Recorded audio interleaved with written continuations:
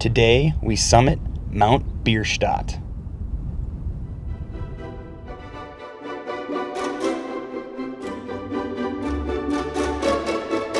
Subscribe to American Explorer. Mount Bierstadt is a mountain peak in the front range of Colorado's Rocky Mountains. Situated about an hour drive from Denver, the trailhead is located about 9 miles south of Georgetown off the Guanella Pass Road, easily accessible off Highway 70. Bierstadt's height of 14,065 feet puts it just into Colorado's famed 14ers Club. A 14er is just a nickname for mountains with a summit of 14,000 feet or more. As far as 14ers go, Bierstadt is on the easier side and often comes recommended as a first time 14er. The out and back hike takes you along a 7.8 mile trail that winds up the mountain with an elevation gain of 2,765 feet. Mount Bierstadt is named after the famous American landscape painter Albert Bierstadt. It was officially named after him in 1914. In 1863, Albert Bierstadt visited the area and is thought to have climbed Mount Evans and its nearby neighbor, the unnamed Bierstadt. There's a theory that he made the first double ascent of the two peaks, but records are too vague to be sure. His paintings construe an awe in the power of the Rocky Mountain landscape particularly his painting Storm in the Rocky Mountains, which was inspired by Bierstadt's time in the area.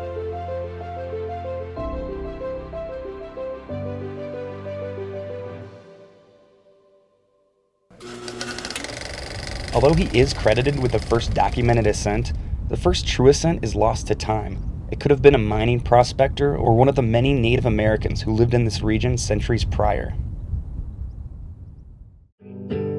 Another interesting story is the history of Mount Bierstadt's neighbor, Mount Evans. Albert Bierstadt originally called this peak Mount Rosalie in the late 1800s. It was named after Rosalie Osborne.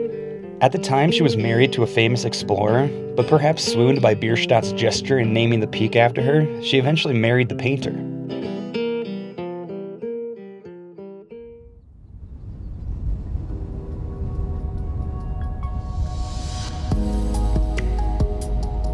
The trail first takes you across a swampy mountain basin dotted with lakes and streams.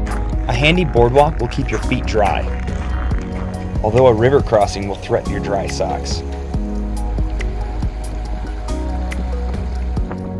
After the basin begins the long, steady climb up the mountain's flanks. The trail is very well marked. A map likely won't be needed.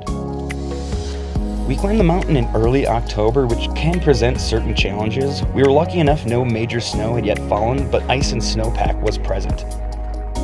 If you're hiking at altitude late or early in the season, spikes are a must.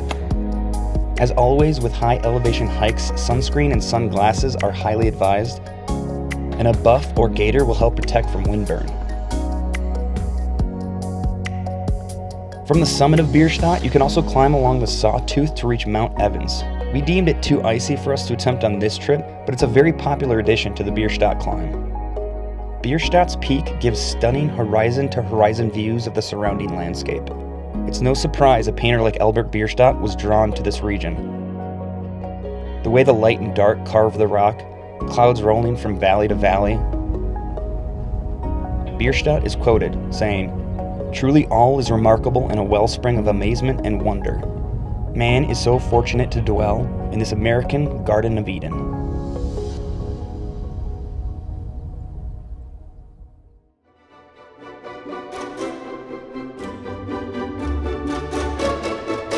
Subscribe to American Explorer.